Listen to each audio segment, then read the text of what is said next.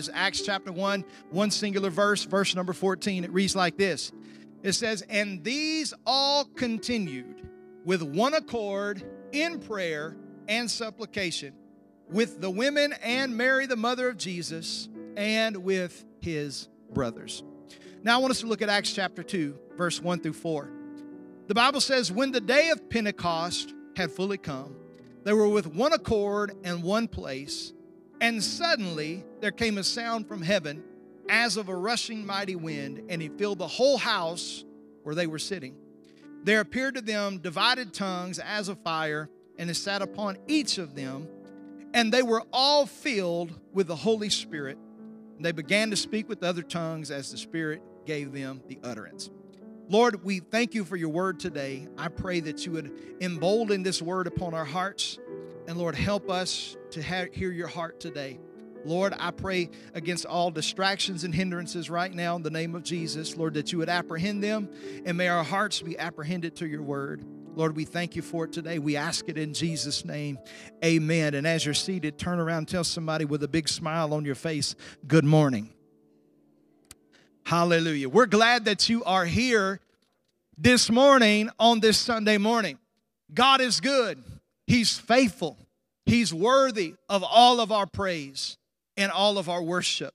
Listen, uh, as I mentioned a moment ago, what a joy it was for our 100 year celebration for Pastor Darren Pilcher. Didn't he preach a good word? This same Jesus is the same. I am going to uh, be piggybacking off that a little bit. He had no idea where I was going this next month, but I'm going to be piggybacking off that a little bit um, because we're going to pick off there in the scripture. But let me tell you something God is good. Over the last several weeks, I have been um, in travail uh, in my own soul. Um, uh, in, a season of prayer. I've called our staff to a season of prayer. We have pre service prayer on, on uh, Wednesday nights as well. And just in every spare moment of my time throughout the day, uh, it doesn't matter what I'm doing or where I'm going. I find myself praying under my breath and sometimes just praying in the spirit. And I know that, that God is, is trying to position us to a deeper place of prayer and intimacy with Him. Um, that's why this morning I want to entitle this brand new series, Prevailing Prayer that comes from a scripture in the book of James where the Bible says that Elijah was a man of like passions just as we were. And yet the Bible says he prayed and it did not rain. And the Bible says that the effective, fervent prayer of a righteous man avails much. And so I'm talking to you this morning from the subject of prevailing prayer. Somebody say prevailing prayer. Now I want to tell you a story. This happened some years ago.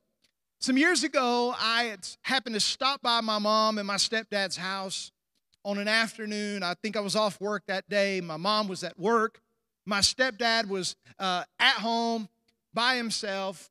He was out in the shop doing some work. At this time, they just had um, um, some beams up, and he was putting, building the shop basically. He was putting the tin on the exterior and hanging some trusses and some things. And it was a still summer afternoon the grass had grown out in the pasture, and so it, had gotten kind of dry. And, and he had his welding machine on, and I just so happened to, to stop by and see him, and he's welding when all of a sudden he's moving down the beam and he's welding something low when a summer wind blew through.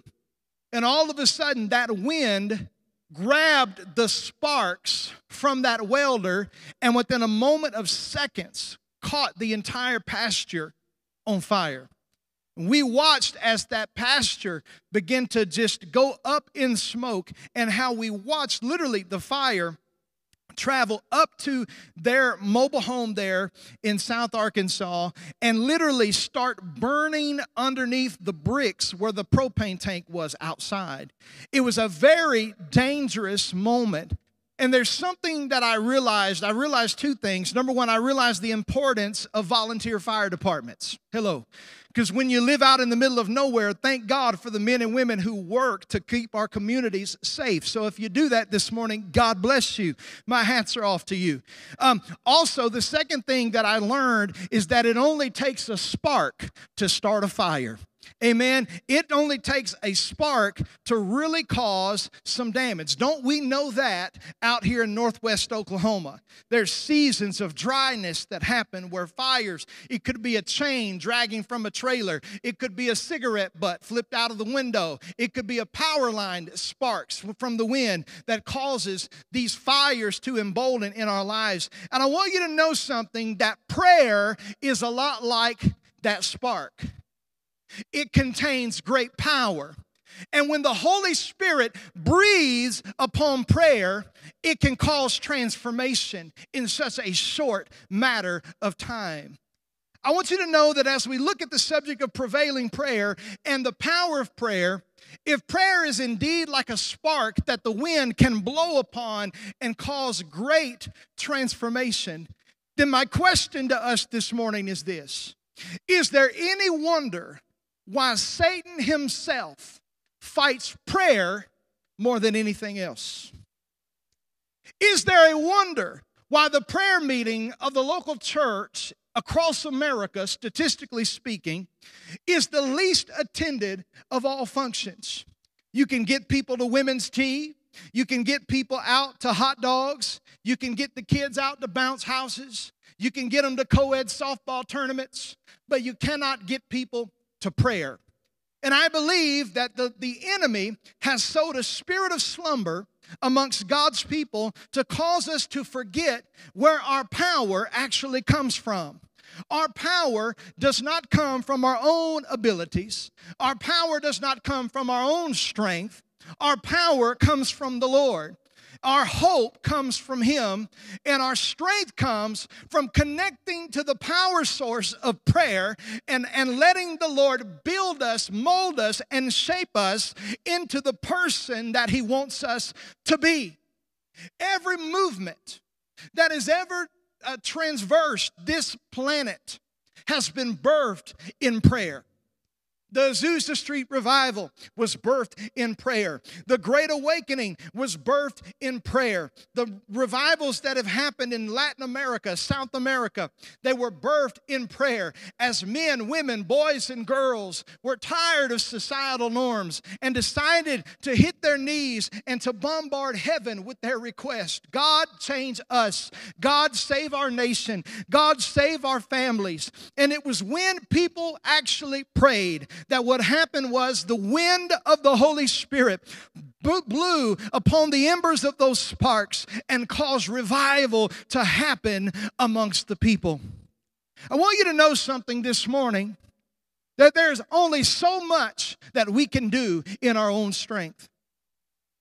We can learn the songs, we can learn the key changes, we can learn the lighting cues. We can have the best graphics. We can have the most amazingness of social media. We can have so many likes and views on Instagram, Facebook, Snapchat, Twitter, whatever the, the platform might be. But if it's not birthed in prayer, it is wood, hay, and stubble. It'll be burnt up by the trials and fires of judgment when we stand before a holy God. Why? Because only that which is birthed in a place of prayer will last for eternity. We serve a God who is serious about prayer. Not only do we serve a God who's serious about prayer, He modeled it. Jesus modeled this prayer life, which kind of blows out of water this whole idea that we should only pray when we do bad things. We talk about repentance, right? Lord, forgive me, I'm sorry. And for a lot of people, that's the only motor method of prayer that they have. Well, how many of you know Jesus was sinless? He never sinned. He didn't commit adultery. He didn't lie. He didn't cheat. He didn't steal. But the Bible says early in the morning he prayed. Late in the evening he prayed. What did he pray about? He had communion with the Father. He got instructions from heaven every morning that this is the way I'm to go. In fact, the Bible says Jesus didn't do anything unless he saw the Father doing it. I want you to know something that our daily instructions are wrapped up in a place of prayer.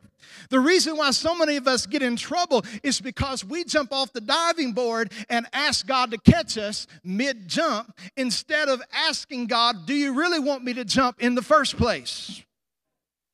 See, that's the difference between praying to get out of trouble and praying to circumvent trouble. God wants to give us insight in our life and give us power to prevail to see the kingdom of God advance, but we have to learn to position ourselves to get into a place of prayer. Hallelujah. Are you still with me this morning? Listen, this is what happened at the birth of the church in the book of Acts. Up to the point of the crucifixion, Jesus was in a time of prayer. He was in the Garden of Gethsemane. He was praying. His disciples were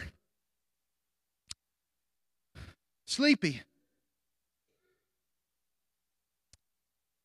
Peter was supposed to be awake, slept through his prayer time, and he cut somebody's ear off. Can I tell you, if you sleep through your prayer time, oftentimes you create more work for God. But Jesus modeled prayer in difficult seasons of life. Even on the cross, he was communing with the Father, saying, Father, forgive them, for they do not know what they do. And then Jesus, as he's getting ready to leave for glory, the Bible says he gives his disciples some instruction recorded in the last chapter of the book of Acts. He says, But you, you go and you tarry in Jerusalem, and you wait until you receive the promise of the Father the promise of the precious Holy Spirit.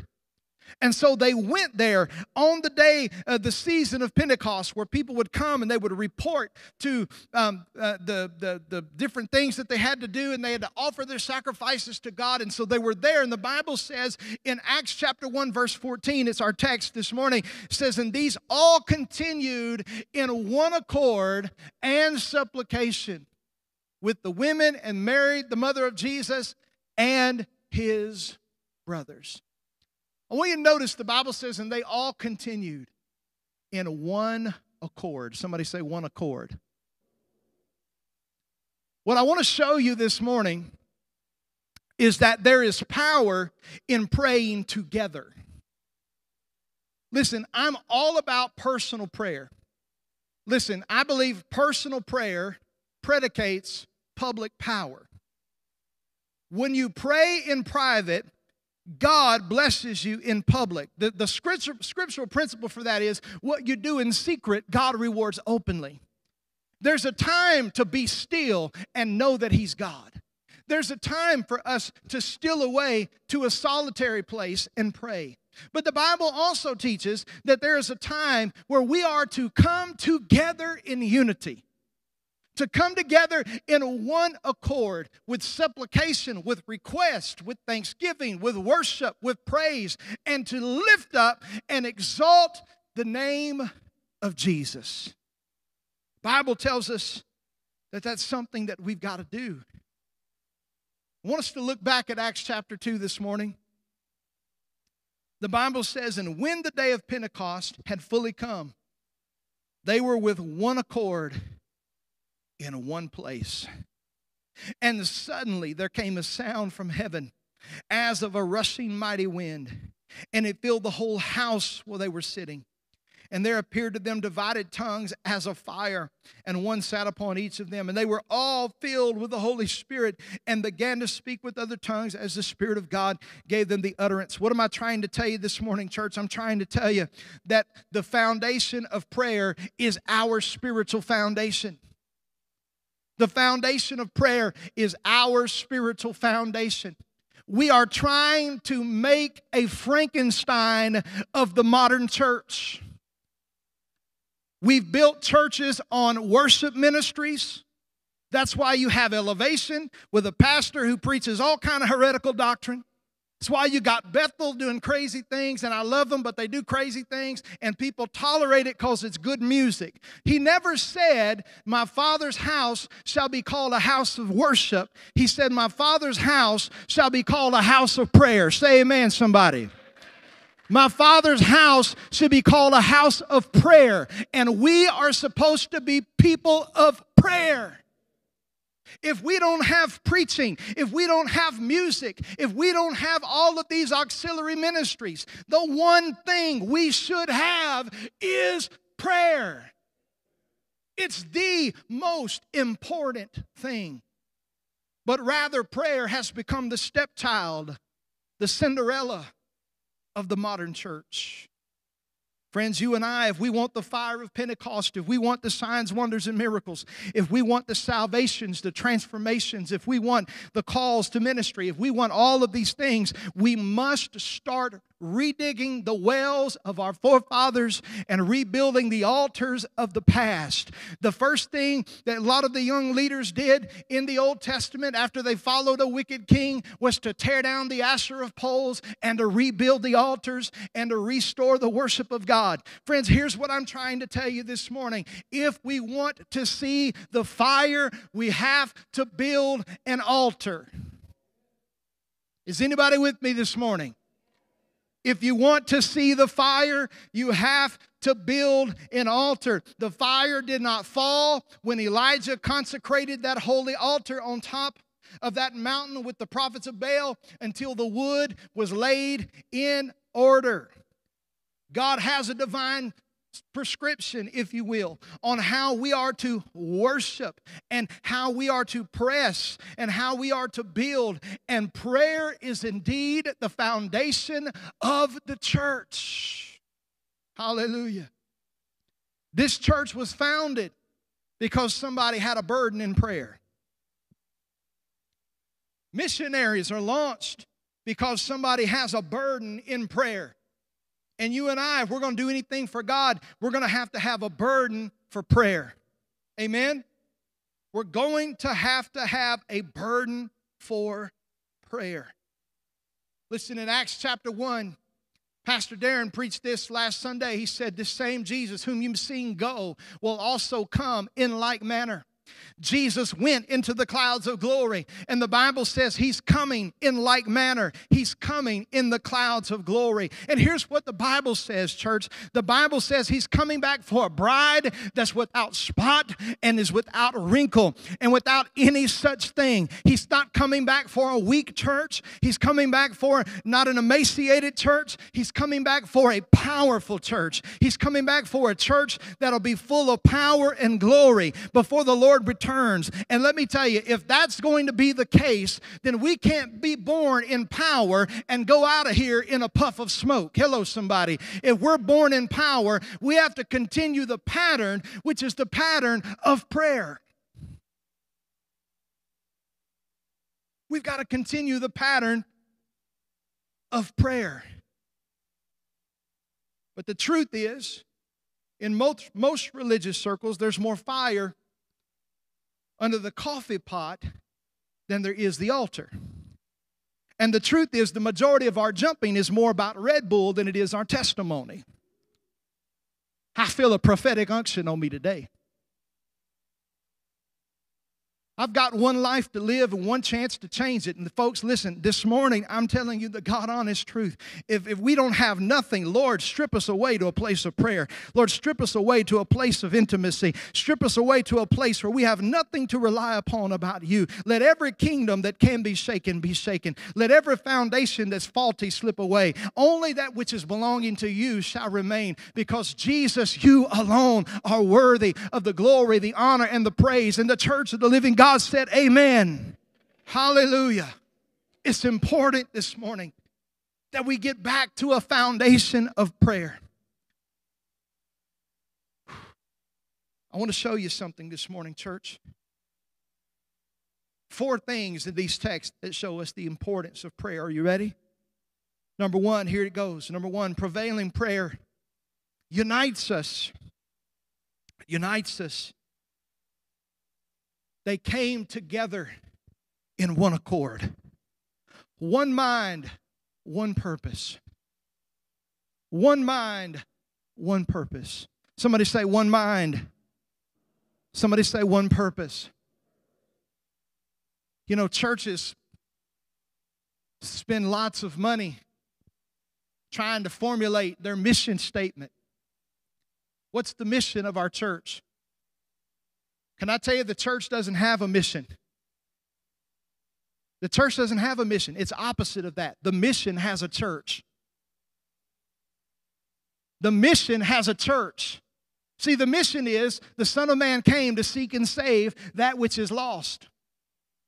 The mission is going to all the world and make disciples of all nations. Listen, our mission is to reach people for Jesus Christ. Our mission is to reach the lost at any cost. Our mission is to save souls and to tell them that Jesus loves them. He died for them. He's coming for them. He has a plan for their life. We have a obligation to the world around us to reach people with this glorious gospel of Jesus Christ. Friend, listen, and that mission is not our own.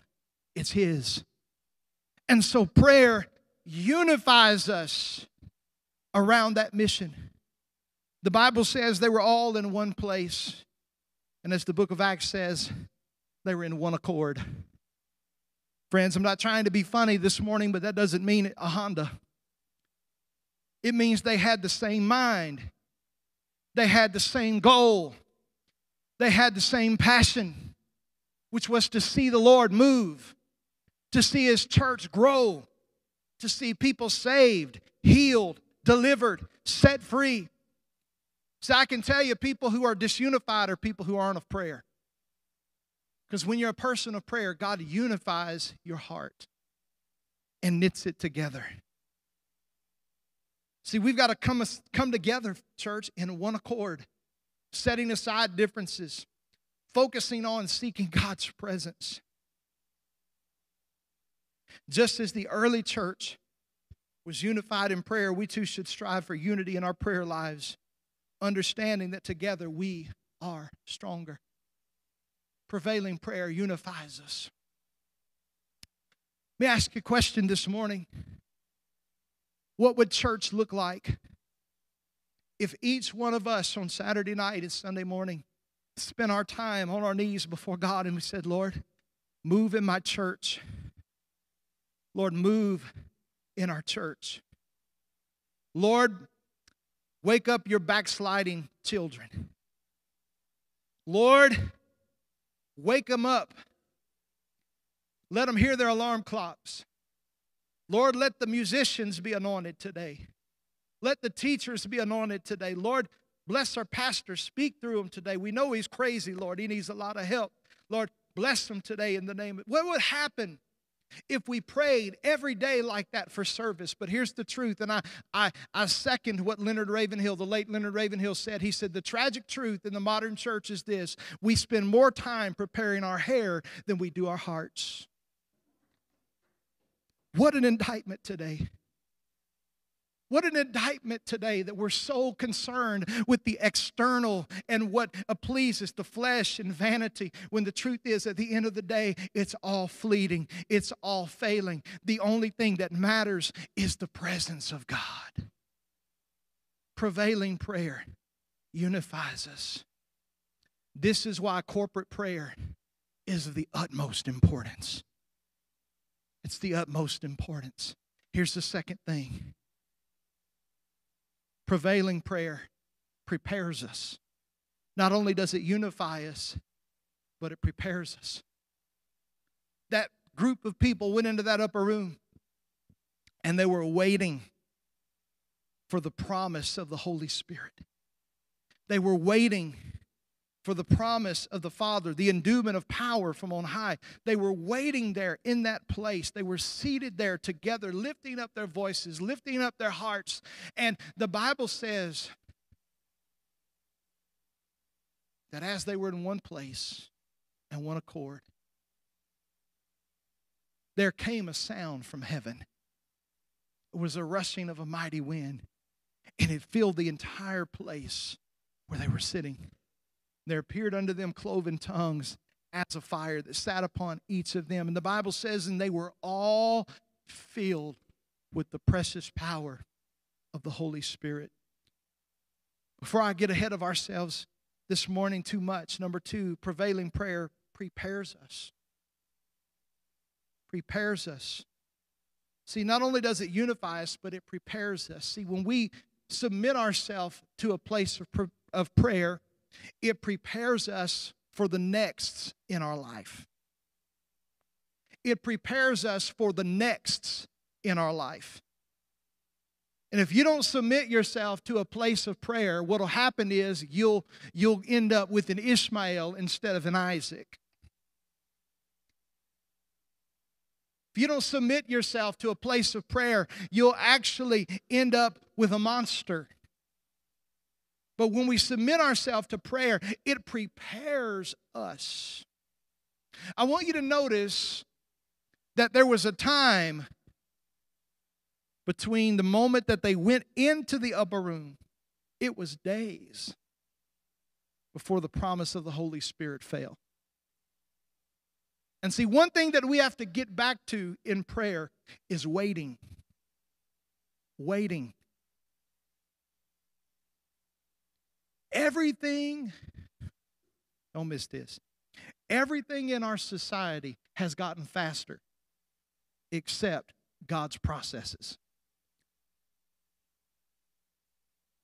we were coming through my, uh, looking through my dad's things and doing those things that you have to do. And, you know, it's taxing, it's daunting. One thing about my dad's unique, and I didn't realize this, he wasn't a hoarder, his house was immaculately clean. But one thing that I found is the man threw away nothing. Zero. Actually, found a love letter my mom wrote him when they first started dating. They had broken up. It was pretty neat. Um, found all kind of things. He just didn't throw away anything. Every bill he ever paid was rubber banded with the date he paid on the front of it. I mean, there was stacks and stacks and stacks. But one of the things that I found was a bag phone. Does anybody remember those? My kids thought it was manna. They said, What is it? You know, they didn't know what it was. And I told them, kids, this is what cell phones used to look like. There was a big thing like this. You had to plug it into the cigarette lighter. You had to put a big antenna out the top of the window, and that's just, and you didn't dare talk on them because it was like a 19.99 a minute or something like that. So you know, it, it's just one of those things. I found old phones. I found old internet modems. I found you you name it. And so back in the day, that technology was so slow. Anybody remember dial-up internet? Felt like it literally was dialing to China you know, all these little sounds it make and everything. And now what we have faster, faster, faster, faster, faster, faster. And even drive through food is not fast enough for us. And so if we have to wait more than two and a half minutes for something, we get extremely frustrated and upset. But what we fail to forget is we, I didn't coin this phrase, it's cliche, but we, we serve a crockpot God, but we live in a microwave generation. And we can't forget that in the Bible, sometimes years happened before answers came to pass. But prayer prepares us to receive what God has for us. You see, because prayer is not just you speaking to God, prayer is also God speaking to you. And the reason why some of your lives are so crazily unorganized and scattered is because you only pray telling God what you want and then you go about your business. When God really wants you to pause and let Him speak to you, that happens different ways. I'm not saying you're going to hear an audible voice from heaven. Sometimes you might. It didn't happen that much in the scripture, but it, it's possible. But you're going to hear it in your heart. You may open the scripture up to something that, that speaks to you. God is speaking all the kinds of different ways. But how can He speak to us if we don't allow ourselves to be prepared in a place of prayer so that He can speak to us? Listen, don't forget this. Everything worthwhile is birthed through prayer.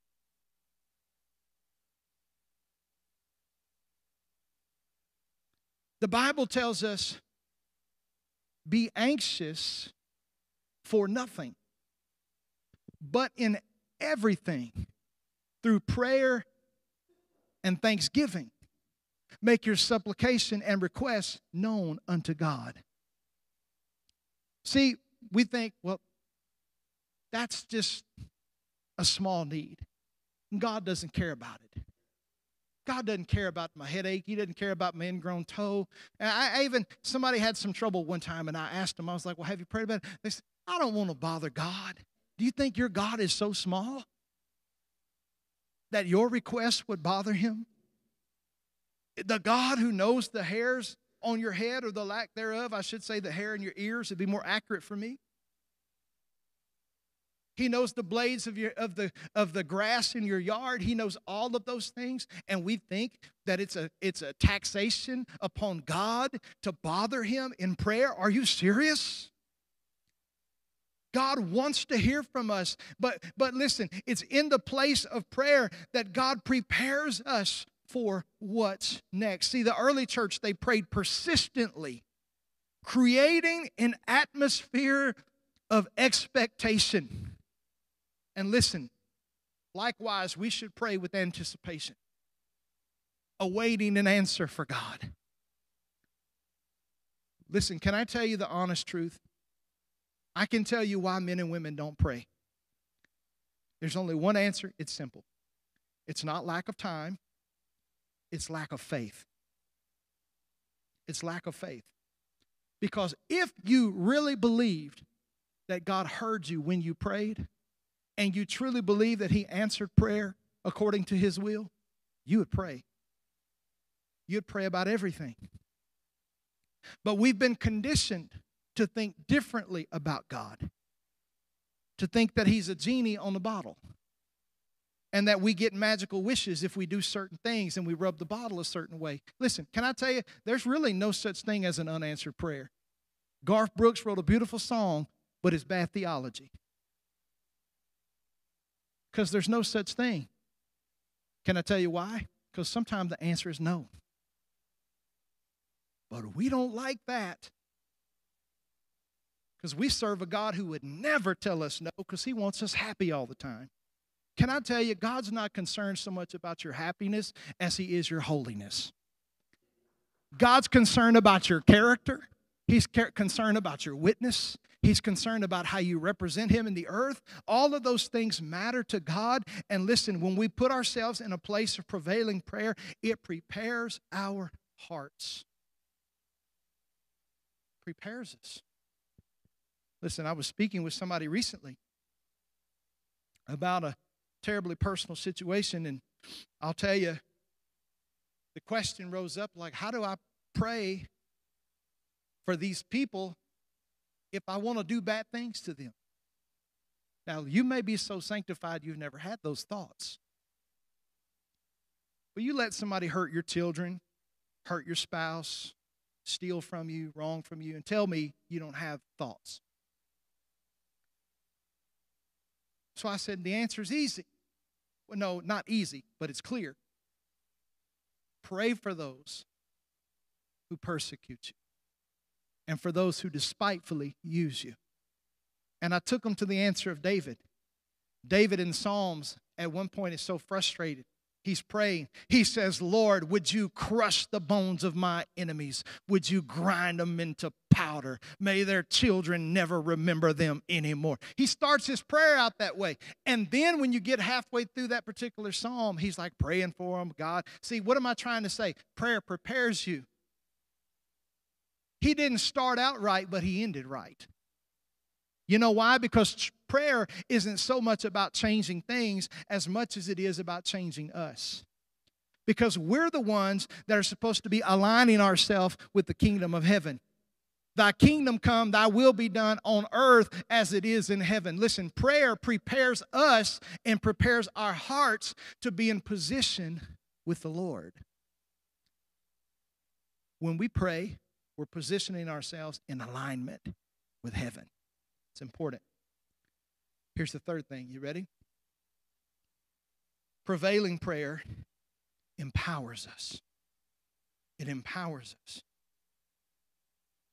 See, not only were they united, not only were they prepared, but number three, they were empowered. Because the Bible says when they came together and they prayed, and they prayed together, and they prayed in unison, the Bible says there came a sound from heaven as of a rushing of a mighty wind. And it filled the house where they were sitting. How prophetic that air conditioner just kicked on. Do you know what? That air conditioner kicked on, and, and you're going to feel that breeze all throughout this house. because we're in here corporately. And when they prayed, something happened corporately. It filled the house. But then the Bible says something else happened. And there appeared to them cloven tongues as a fire. It sat upon each of them. See, what I'm trying to show you is in this moment, something happened corporately, but something also happened personally. There was wind that filled the house, but there was fire that sat upon the individuals. And I want you to know something that a personal anointing is found connected to the corporate gathering. God has called us to be a part of the local church. And there are a lot of people who want the anointing and they want things, but they're renegade, they're rogue, they're not connected to anybody, they're doing their own thing. But God empowers us when we come together. And that corporate power sits upon each one of us, and He empowers us to do what it is we're called to do. Prevailing prayer empowers us. Folks, we got to seek the empowerment of the Holy Spirit through prayer. If you're struggling, you don't know what to do, you don't have the power to witness, you don't have the power to soul win, you're timid, you're shy, you're meek, you need the power of God upon your life to touch you, to change you, to transform you. Prevailing prayer, it empowers us these believers were seeking the power of the Holy Spirit. And guess what happened? They received that which they were seeking. Now, here's what I want to tell you this morning. And I don't want to get into this too much today. But this glorious experience of the power of the Holy Spirit is not just a one time experience. It's not just a one time experience. See, some people treat the baptism of the Holy Spirit like, like it's a, a thing. I did that. I did that. Like baptism, like water baptism. I did that. Way back then, that happened. The Bible doesn't teach it that way. The Bible teaches a continual infilling of the Holy Spirit. I'm going to tell you why because we have cups that leak. We have cups that leak. Could you hand me one of those bottles there? Thank you. Let me, let me show you something. This cup, this, this bottle, it's just water, it won't hurt anything, is, is full. Do you agree? What happens if I hit bumps along the way? There's a little less full than it was.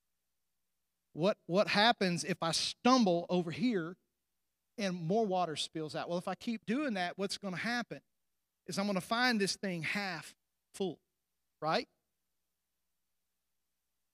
Well, the disciples found themselves in this situation. See, in Acts chapter 2, they were filled with the Holy Spirit.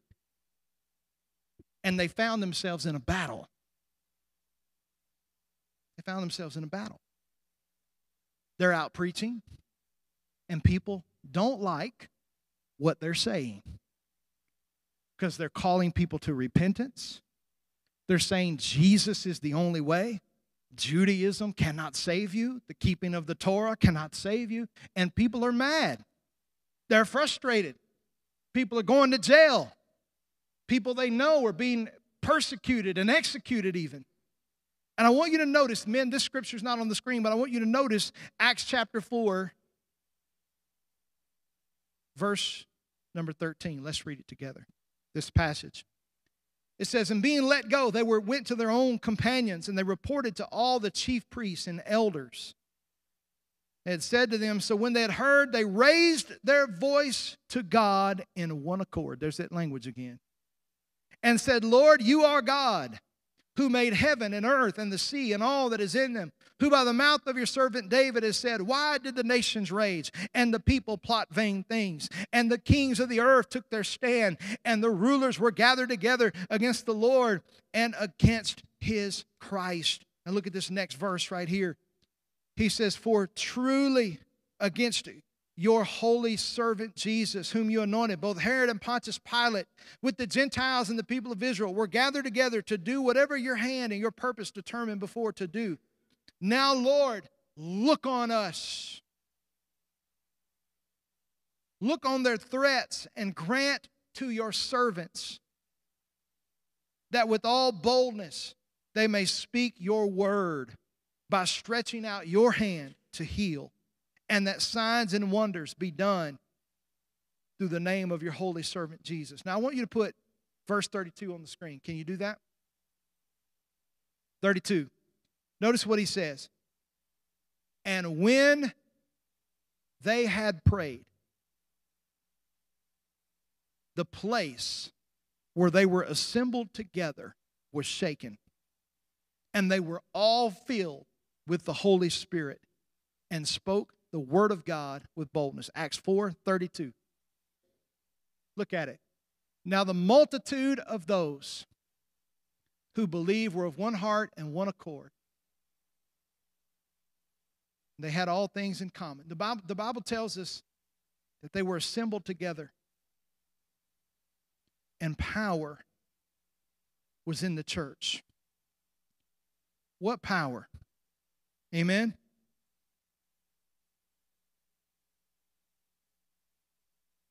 Yeah, I think that was verse 30. It might have been 31. Verse 31. Notice, and when they had prayed, the place where they were assembled, somebody say assembled, together was shaken. Church, here's what I'm trying to tell you there has to be some times where we inconvenience ourselves to come together and pray. Amen? We can't have a church of 200 people and have eight people come to prayer. We have to come to a place of prayer. Amen?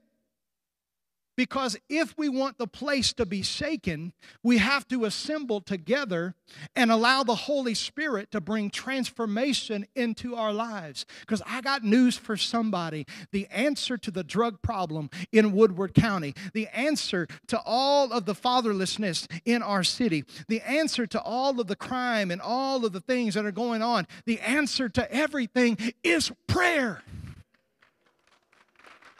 It's not more ads, it's not newspaper ads, it's not Facebook ads, it's not anything like that. The answer is prayer. And I believe, church, that God is calling us to a place of prayer. Because not only does prayer empower us, I'm closing. Number four, prayer transforms us. Transforms us.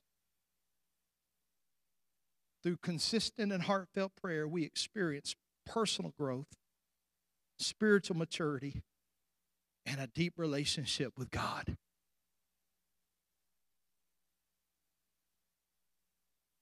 You see, when we come to a place of prayer, we say, Lord, it's not about me, not my will, Lord, but your will be done. Not my ideas, Lord, your ideas. Not my thoughts, but your thoughts. Not my ways, but your ways. Lord, I'm coming to you right now and I'm asking you, Lord, to transform my life. And listen, what happens when we build that foundation of prayer? God begins to unify us, He begins to prepare us, He begins to empower us, He begins to transform us. Because here's the thing a praying church is a powerful church. A praying church is a powerful church. And I don't know about you this morning, but I just want His presence. I want His presence so strong I can't pick myself up off the floor. I want His presence so strong that I can't move forward. I want his presence so strong. The Bible says that when the glory of the, of, of the temple was filled, the Bible says that the breath of Queen Sheba left her body. The Bible says that the, the, the priest couldn't stand to minister because of the presence of God. And that only comes when we build an holy altar and we say, Lord, here I am. Here I am. Transform me mold me, take me. I belong to you. That's the foundation of prayer. Listen, the book of Acts church was birthed in prayer. And if we want what they had, we have to do what they did, and that's to pray. So, in just a moment, in just a moment, I'm going to call us all to a place of prayer. But right now, I want you to stand.